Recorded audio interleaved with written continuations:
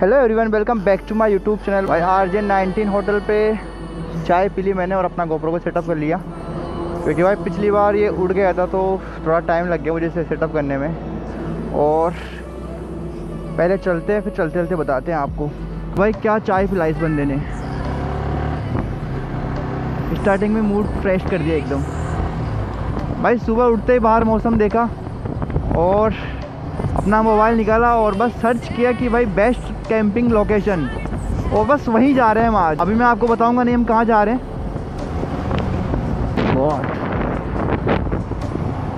अच्छा। भाई, दो करोड़ की कार, यूपी सोलह डीएल अब मिलते हैं आपको सीधा अपनी कैंपिंग लोकेशन पर।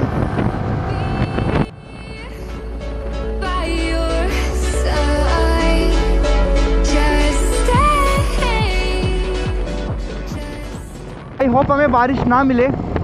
मौसम एकदम बढ़िया है, लेकिन बस बारिश ना हो। बारिश हुई तो भाई अपने सारे किए किराए पर पानी फिर जाएगा। आज हम जा रहे हैं ना, अब यहाँ पे कैंपिंग करने। भाई मेरे को लगता है अभी तक कोई बंदा वहाँ गया नहीं होगा, मेरे अलावा, क्योंकि ऐसे आइडियाज़ है ना, मेरे को ही आते हैं। भाई जाने का रास्ता ही नहीं है वहाँ पर। कोई बंदा किसने सर्च किया, मुझे जगह अच्छी लगी, मैं सोचा यहाँ पे कैंपिंग हो सकती है। और अपनी कैंपिंग में क्या करना होता है? बस मैगी बनाना होता है और टी बनानी होती है हमारे लिए। तो बस हमें यही करना है। बस बारिश ना हो। पोर्शे भाई, दो करोड़ रुपए की कार है ये। दो करोड़ रुपए है इसकी प्राइस भाई। तो लोग बाग दो करोड़ की कार ले रहे हैं। मेरे पास दो करोड़ हो ना भाई सबसे पहले मैं बाइक लूँ। और बाइक कौन सी लूँ? बी एम डब्ल्यू बारह सौ पचास जी एस या फिर मैं लूँ कावासाकी वर्सेज वन थाउज़ेंड और बाकी पैसों से भाई घूमता रहूँ बस ऐसे ही। वर्ल्ड टूर करता रहूँ ऐसे ही।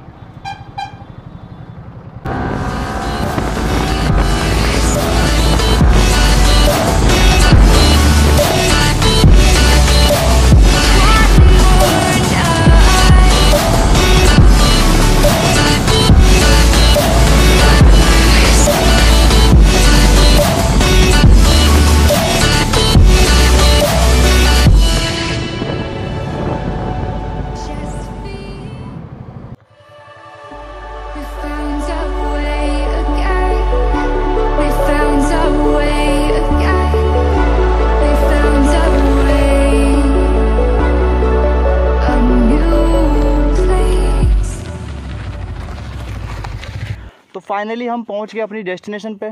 जाना होगा मैं पैदल। और भाई मेरी हालत ख़राब होने वाली है क्योंकि बहुत ऊपर जाना है मेरे को। मेरे पास इतने बैग है। वेट इतना है मेरे पास कि अकेला मैं कर पाऊँगा या नहीं, मुझे नहीं पता। खैर, चलते हैं ऊपर और मिलते हैं आपसे ऊपर कैंपिंग साइट पे। दो घंटे पैदल चलना पड़ा यहाँ तक आने के लिए। और मेरी बाइक खड़ी है नीचे। मुझे इतनी चढ़ाई करनी पड़ी। मेरी इतनी हालत ख़राब हो गई थी कि भाई मैंने एक बार तो सोच लिया था कि यार, चल वापस चलते हैं। पानी पिया, फिर सोचा कि नहीं यार, इतनी दूर आए हैं और इतनी मेहनत भी कर ली अब तो। तो बस थोड़ा चलते हैं, पानी वानी पिया मैंने और अपना दिमाग थोड़ा ठंडा किया।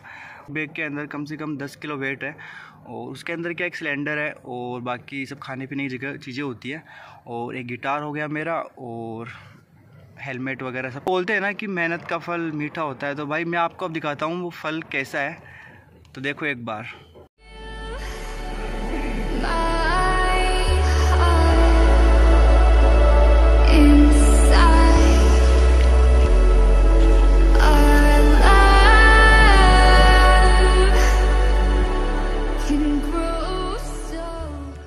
कैंपिंग इतनी एक्सट्रीम कर रहे हैं तो भाई मैगी भी तो एक्सट्रीम बननी चाहिए ना। तो बस बनाते हैं मैगी अपने लिए। और वैसे मेरे को बहुत भूख लग रही है भाई, इतनी मेहनत करनी पड़ी मेरे को आज। मैंने अपनी लाइफ में कभी इतनी मेहनत नहीं की कैंपिंग करने के लिए। तो बस बनाते हैं मैगी अब।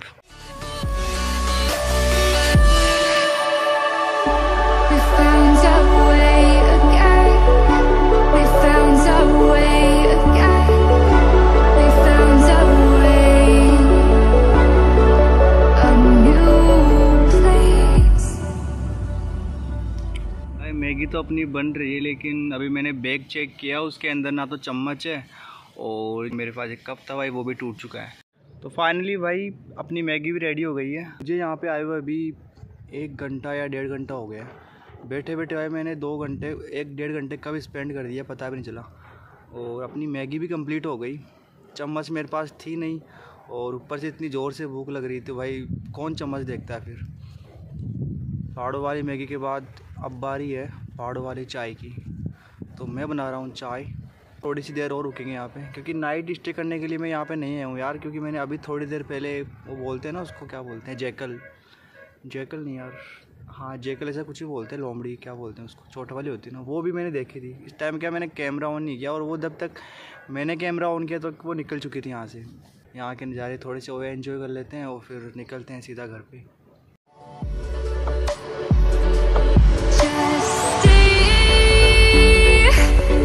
more.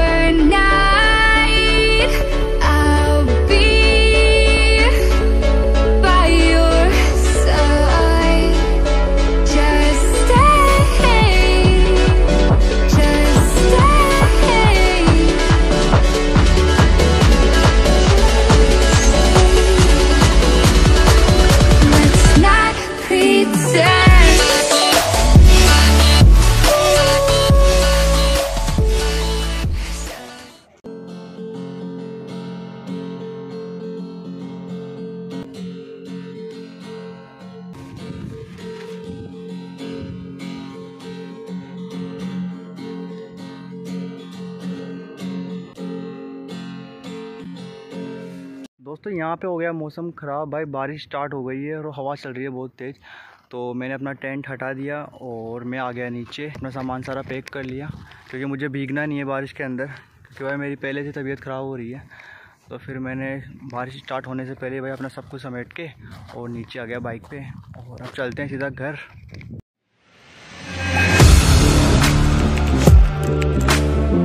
Audio Jungle.